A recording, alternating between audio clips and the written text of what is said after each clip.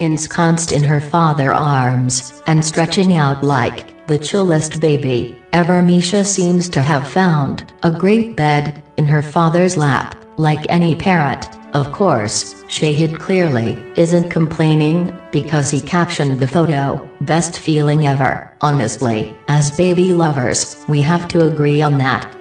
So, while her dad smiles for the camera, and looks blissfully content, baby Misha is dressed like a little princess, in cute pink and white clothes, with a pink and white hair clip, as well, after a long day, of flying to Amritsar, for Diwali, Misha seems visibly tired, in the photo.